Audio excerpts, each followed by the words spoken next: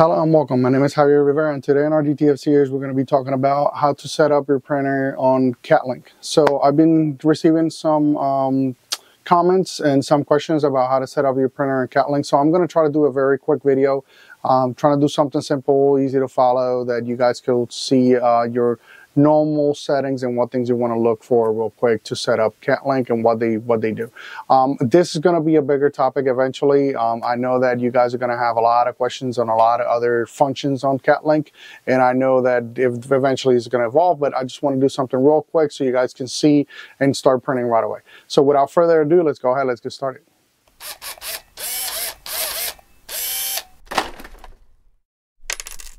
All right, guys. So the first thing that we want to make sure is that we have the correct drivers installed. Okay, so I have a couple things here messed up on purpose. Um, I'm not gonna do the whole driver thing. Um, that should be pretty pretty simple and explanatory.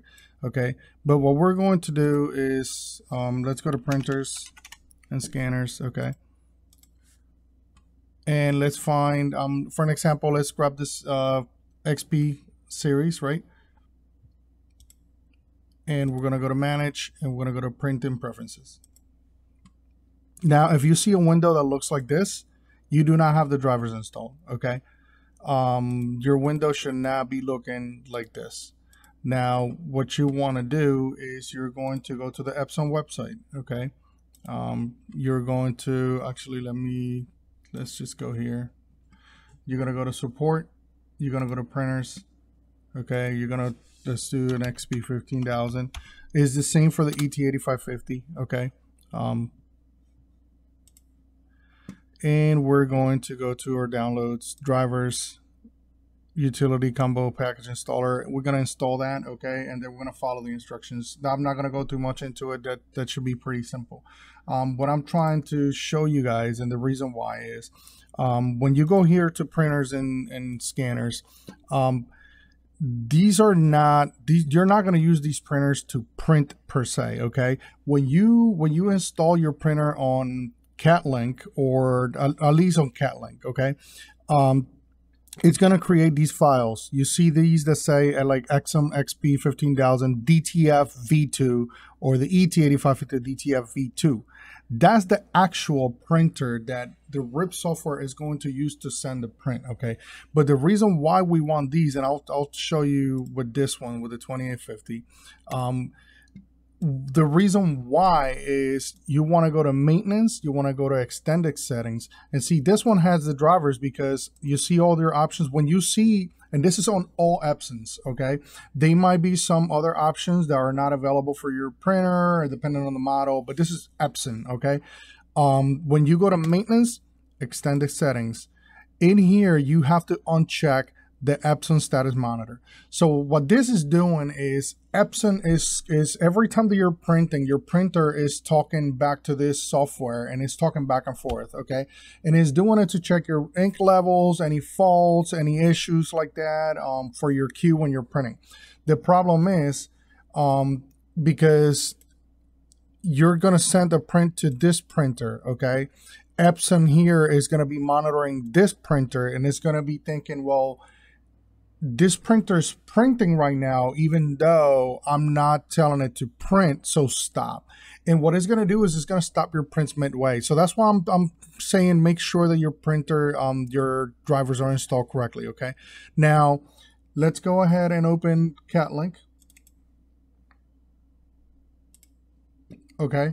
And the first thing that we're going to do in here, we're going to go to devices, manage devices, and we're going to click add okay now in here we're going to find the printer that we're looking for okay you're not going to see it on here because I already have it installed but in here you're going to see either the XP 15000 or you're going to see the ET 1500 so you're going to click on it you're going to click OK I suggest using the version 2 because that's going to be the latest um, uh, software okay so you're going to click OK. In my case, I'm going to cancel it, but you want to click OK. And it's going to bring this printer here. Now your drivers are installed into Cadlink, okay? So we're going to close. You're going to need to make sure that you have it. Again, I have two because I use both of them, but in here, you're going to see the XP15000, okay? After we have that device installed, okay, we're going to manage our queues. So you're going to go to your queue, manage your queue, okay? And you're gonna add, and in here again, you're gonna see both, okay? But I'll give you an example. So you gotta have the XP 15000, okay? And we're going to pick the port. So usually you should be able to see this port um, on your printer on their printer properties, but I'm just gonna pick USB one because that's the one I'm using. Okay, and then you click install. On this one for me will be removed because I have it installed already. Once you install that, your printer's installed. Um, at the moment you click install in here, what it's gonna do is gonna create this XP15000 DTF version 2. And that's what it's going to be using. That's the printer that the, that your DTF is going to use to actually um, layer that white on top of everything. Okay. Now, very briefly, um, I'm going to talk about a couple things here in Cadlink. Okay, so let's go ahead and uh, let me see. Let's go to properties. Okay, and I'm just going to go through a couple of settings. Okay, very quickly. Okay, um, let's see the media setup. Okay, I like to put it at 13 by 19. Um, you can make a custom um, media. You can make it for raw media if you want to. So I have it on fixed media, which pretty much is um, is your sheet. Okay, 13 by 19, or you can go to raw. Um, I I don't suggest that to start. That I think that's a little more advanced. Um, so let's start with fixed media. We're going to do our 13 by 19. Okay. If you don't have the size, you can add it. Um, you can also um, change this to instead of 19, you can do it 17 uh, or 17 and a half. That way you always leave room um, so you don't ruin your print. You can do that. Okay. Um, layout manager. Let me see. I'll always put um, mirror job on import. That way, when you bring the image into here into Cadlink, it will automatically um, mirror the job and you don't have to worry about it. Okay. Um, that's one. Uh, let's see, let's see, roughly layer profile in here. Um, these are settings that you want to check. So flood level, if you see, I have mine on 175 right now. Um, recommended is 255 to start. So flood level, what it is, is pretty much how thick your DTF is going to be. So think about it this way: if you if you 255, um, it might be so thick, but remember because it's so liquidy, it might it might just like spread all over the page, and it's it's you you risk um ruin the print or you're you're putting too much ink in it. So I suggest starting with the 255 and throw it down until you find what is your happy medium. For me, it's 175. That could be too thin because that all goes with the printer. Um, 250, 180s. It, it, it's you have you're gonna have to play with this. But what flood level means is how much of how much paint you're you're putting in there, how thick your coat of paint it's in. Okay. Um, processing options, okay, your underbase, it that has to be highlighted. I'm doing 60% of white under black. Okay, so I want you to understand this setting. What this means is behind your black, how much white you're gonna put as an underbase. Okay.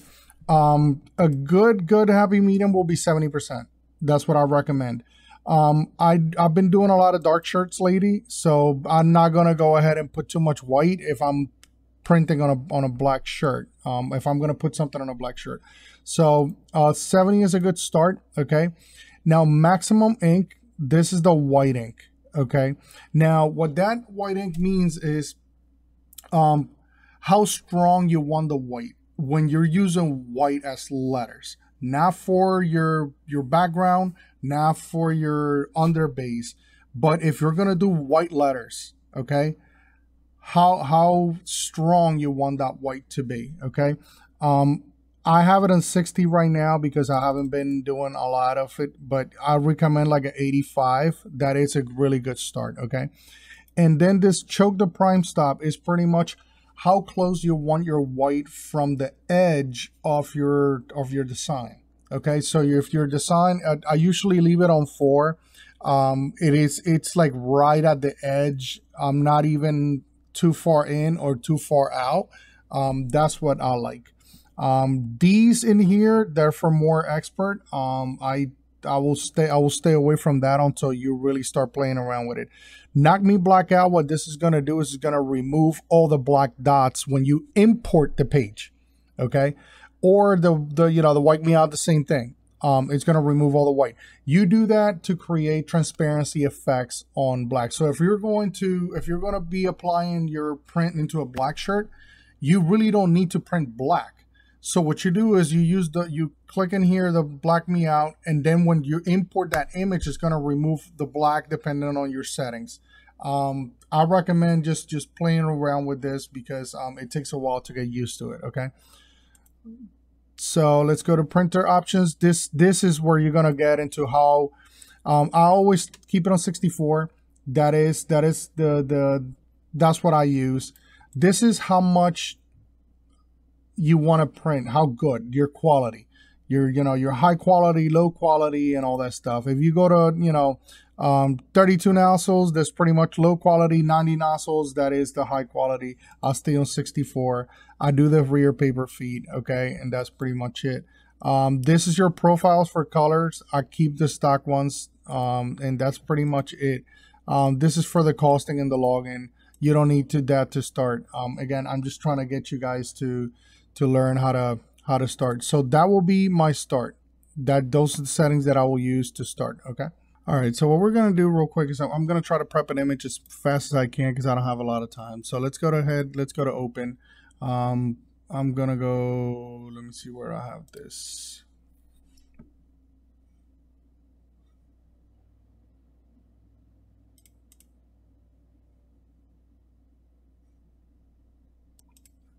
All right, guys. So what I'm going to do is I'm going to try to do an image real quick um, as fast as I can because I don't have a lot of time.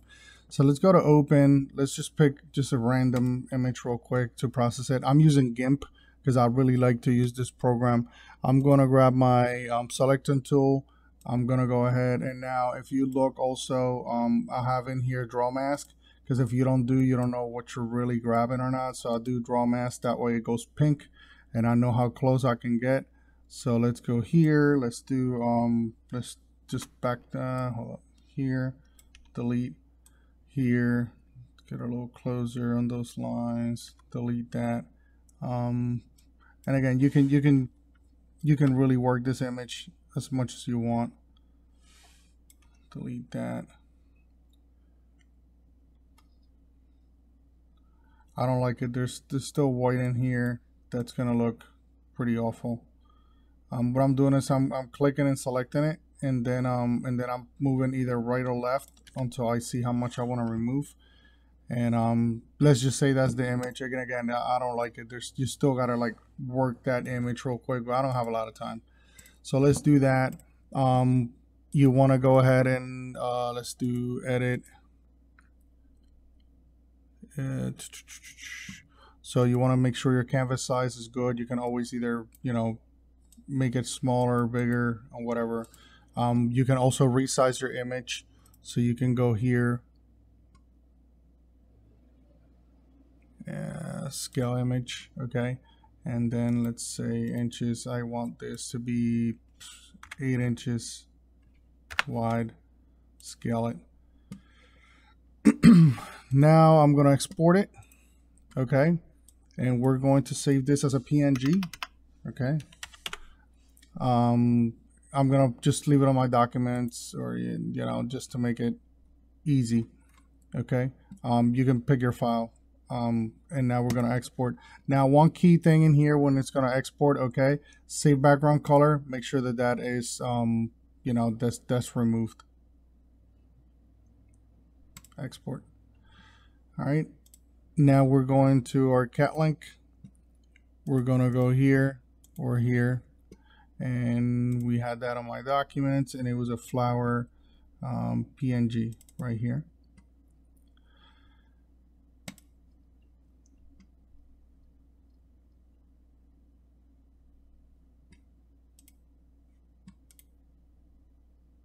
And there we have it. Um, so it already, you know, I already removed everything. A lot of things that you can do in here. Um, let me go ahead and move it so you guys can see a little bit. so a lot of couple of things that I can do. Let's say that uh, this is this is for I'm doing a shirt. Um, I want this to be 10 inches. um, by 7, okay?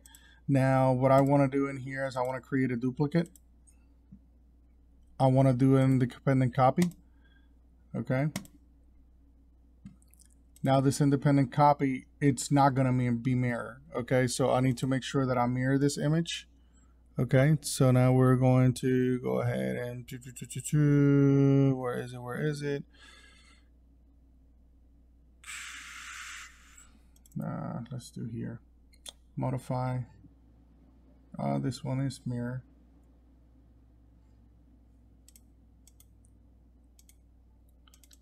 the new one is not mirror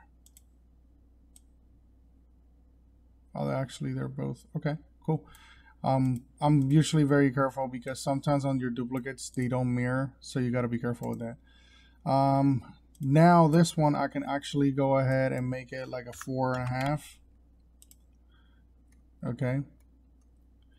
And then that is my front logo and I'll have my top logo and then I can go ahead and I'll give you an example. Another thing that I can do, I can go ahead, let's, uh, if I'm really going to do this and try to get everything out of my picture. So I'm going to go ahead and here and modify. I'm going to rotate this one 90 degrees. Okay. I'm going to go here. I'm going to create a copy.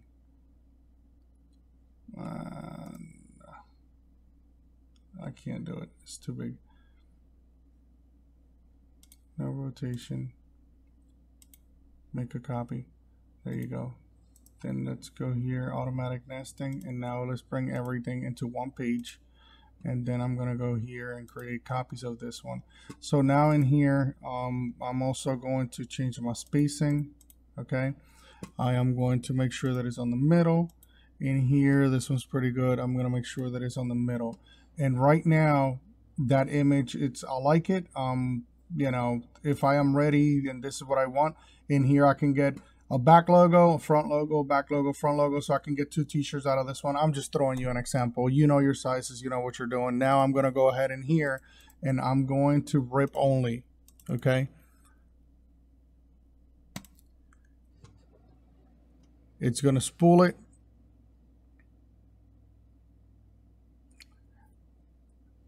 And now that that image is ready. So now all I got to do is go here and I'm going to print that's it. Um, I can say how many copies I want okay? You can also do it here if you want three copies four copies anything and you can click print so that image now is ready to be printed you're good to go um, all right, guys, so there you have it. That's pretty much how to set up your printer. It is the same process for any that any Epson printer that you're to be using Cadlink uh, with, okay? So hopefully this helped you. This Hopefully this can get you guys up and running uh, right away and get you up and printing. So anyway, if you have any questions, leave it on the comments. You like my video, give me the thumbs up. Don't forget to subscribe, and always thank you for watching.